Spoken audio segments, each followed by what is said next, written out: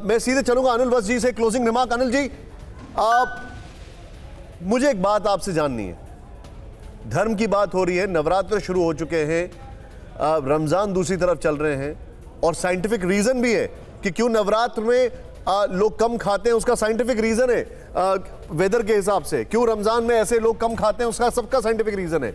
अगर साइंस खुद कह रही है कोई चीज़ तो लोगों को मान लेना चाहिए ना सर? मैं बिल्कुल आपसे सहमत हूँ और मैं खुद लोगों से नवरात्रों का हमारे यहाँ चंडी पूजा होती है पर मेरे ऑफ़िस में सिर्फ़ एक पंडित है जो अकेला पूजा कर रहा है और बाकी के पंडित अपने घर में बैठ के भगवती का आवाहन कर रहे हैं और पूजा कर रहे हैं। जब हवन भी होगा तो अष्टमी वाले दिन हमारे ऑफ़िस में हमारे ऑफ़िस का अकेला पंडित करेगा बाकी जितने लोग हैं वो अपने घर पे होंगे। ठीक है। मैं अनिल जी मैं आपको रोकूँगा मैं आपको रोकूँगा सबसे बड़ा धर्म इंसान की जान बचाना है। और सबसे बड़ा पाप ब्रह्म हत्या है। ब्रह्म हत्या यानी आज के दौर में उसको इंसान की हत्या भी कह सकते हैं। तो अज्ञानता की वजह से अगर किसी की मृत्यु हो रही है, क्या वो हत्या से कम नहीं है? जब मन चंगा तो कठौती में गंगा। कहाँ जा रहे हैं आप कुंभ के लिए? फ़िक्र आपकी।